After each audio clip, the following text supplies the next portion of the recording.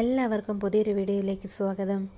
കഴിഞ്ഞ വീഡിയോയിൽ നമ്മൾ കേരളത്തെ സംബന്ധിച്ച് കുറേ ജനറൽ നോളജ് ക്വസ്റ്റ്യൻസ് അവയുടെ ഉത്തരങ്ങളും പഠിച്ചു. നമുക്ക് അതിന്റെ രണ്ടാമത്തെ പാർട്ട് തുടങ്ങാം. അപ്പം നമുക്ക് വേഗം തന്നെ വീഡിയോയിലേക്ക് പോകാം. ഞാൻ വീണ്ടും പറയുകയാണ് ഇഷ്ടപ്പെടുകയാണെങ്കിൽ ലൈക്ക് ചെയ്യണം കമന്റ് ചെയ്യണം ചാനൽ സബ്സ്ക്രൈബ് ചെയ്യണം. അപ്പോൾ നമുക്ക് വീഡിയോയിലേക്ക് പോകാം.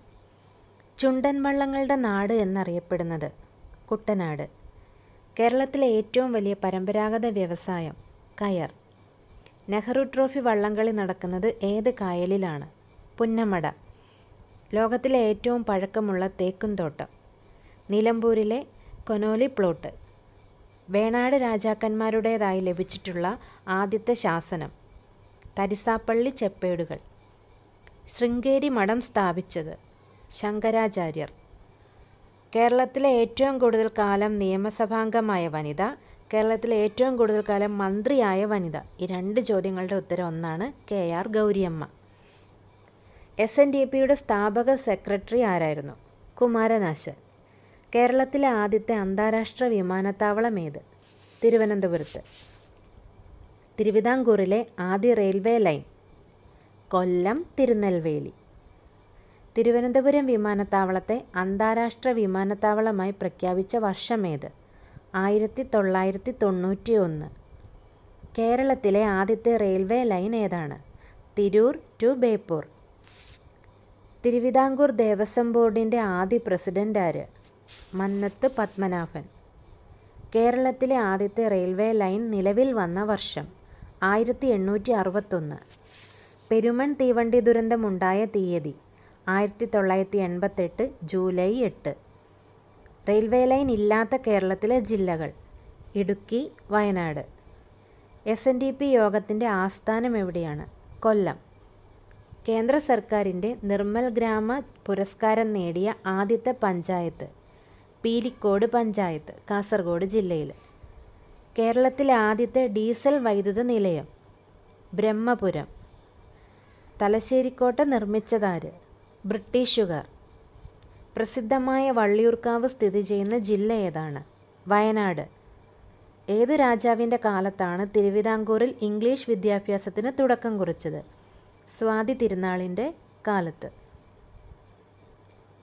മലയാള മനോരമ പത്രത്തിന്റെ സ്ഥാപകൻ ആരാണ്? കണ്ടത്തിൽ വർഗീസ് മാപ്പിള.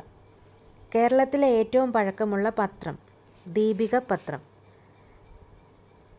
കേരളത്തിലെ ആദ്യത്തെ ജോയിന്റ് സ്റ്റോക്ക് കമ്പനിയായി രജിസ്റ്റർ ചെയ്യപ്പെട്ട സ്ഥാപനമേത്? മലയാള മനോരമ. കേസരി പത്രത്തിന്റെ സ്ഥാപകനാര്? ബാലകൃഷ്ണപിള്ള. കേരളത്തിലെ ആദ്യത്തെ വൈദ്യശാസ്ത്ര മാസിക ഏത്? ധന്വന്തരി. കേരളത്തിലെ ആദ്യത്തെ സ്വകാര്യ T V channel company? Asianet. കേരളത്തിലെ ആദ്യത്തെ മനുഷ്യനിർമ്മിത ദ്വീപ് ഏതാണ്? വെല്ലിംഗ്ടൺ. മരച്ചീനി ഏറ്റവും കൂടുതൽ ഉൽപ്പാദിപ്പിക്കുന്ന കേരളത്തിലെ ജില്ല തിരുവനന്തപുരം. ഇടുക്കി ജില്ലയുടെ ആസ്ഥാനം പൈനാവ്.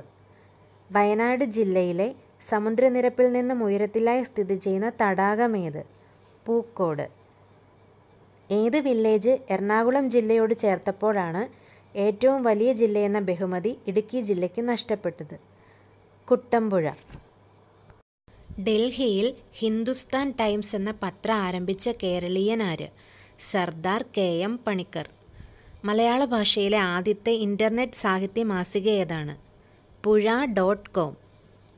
മലയാളത്തിലെ ആദ്യത്തെ പത്രമായ രാജ്യസമാരം എവിടെ നിന്നുമാണ് പ്രസിദ്ധീകരണം ആരംഭിച്ചത്? തലശ്ശേരി. അതിൽ തന്നെ രണ്ട് ചോദ്യമുണ്ട്. മലയാളത്തിലെ ആദ്യത്തെ പത്രം രാജ്യസമാരം. അതെവിടെ നിന്നുമാണ് പ്രസിദ്ധീകരണം ആരംഭിച്ചത്? തലശ്ശേരി. മലയാളത്തിൽ നിന്നും ഉർവശി അവാർഡ് ആദ്യമായി നേടിയ നടി ശാരദ. ഇന്ത്യയിൽ ഉർവശി അവാർഡ് നേടിയ ഏറ്റവും പ്രായം കുറഞ്ഞ നടി മോനിഷ.